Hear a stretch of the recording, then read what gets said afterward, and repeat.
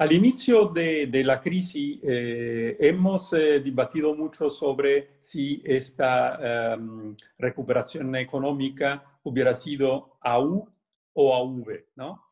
Em, después de estos meses, eh, con los primeros datos y tal, ¿tú qué valoración, valoración haces?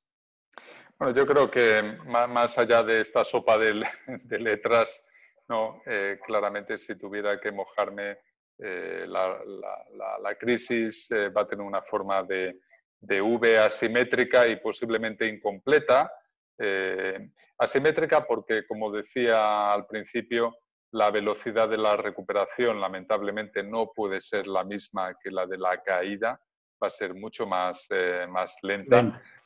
y incompleta porque también por estos cambios sectoriales, estos cambios en los patrones de consumo, estos cambios en, el propio sistema productivo, en la forma que mm, a partir de ahora vamos a, hacer eh, las, cosas o tenemos que hacer las cosas, pues lógicamente deja ganadores y perdedores y es posible que, mm, cueste eh, algún tiempo volver a los niveles de, actividad que hubiéramos tenido en ausencia de esta, de esta crisis. ¿no?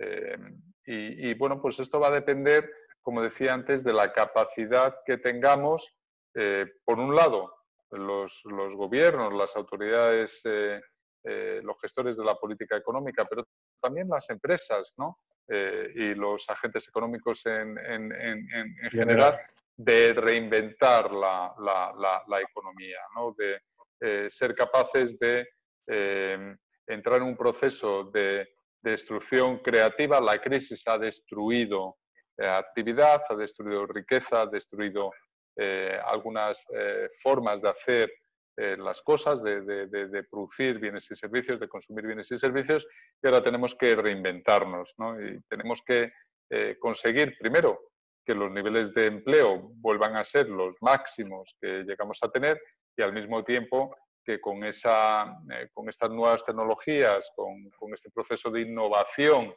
tecnológica, eh, ese empleo sea lo más productivo posible. Solo así podremos alcanzar niveles de renta per cápita, niveles de actividad que sobrepasen o que alcancen de nuevo eh, la, senda de crecimiento en la que estábamos antes de esta crisis económica. Pero es perfectamente posible. ¿no?